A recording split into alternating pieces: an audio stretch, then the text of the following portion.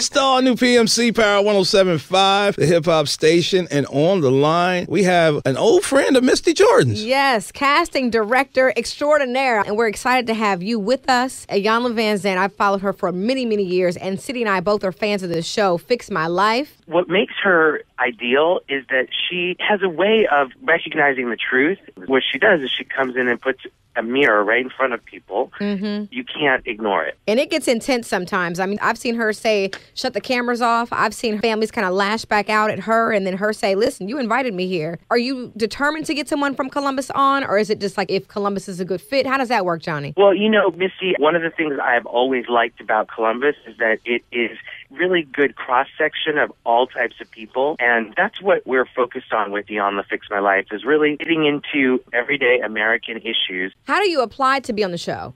It's very simple for people to apply. All they need to do is go to Oprah.com, scroll down to Iyanla Fix My Life, share your story, or we have a hotline that people can call anytime, which is 312 620 0203.